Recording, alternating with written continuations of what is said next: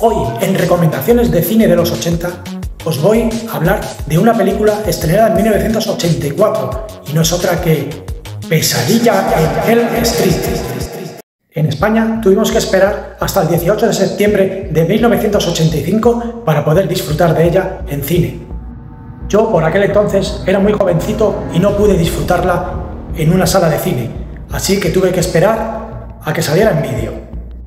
Aparte del extraordinario cartel promocional y de los fotocromos que por entonces había en los cines, lo que realmente me atrajo fue esta frase promocional que me impactó. Si Nancy no logra despertar inmediatamente, no despertará jamás.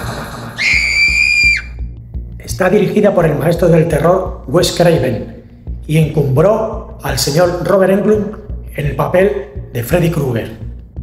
También creó una Screen Queen como Heather Langenkamp. Heather Langenkamp. En el papel de Nancy.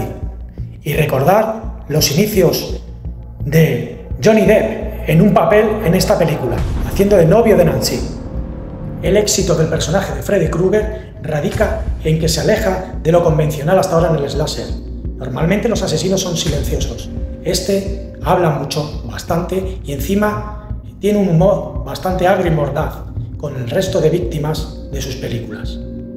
A raíz de esta primera parte, que se ha convertido en todo un clásico dentro del género slasher, le siguieron un montón de secuelas con distinta suerte. Incluso Freddy Krueger llegó a luchar con otro héroe, bueno, héroe, perdón, con otro asesino en serie mítico de los slasher como es Jason Voorhees.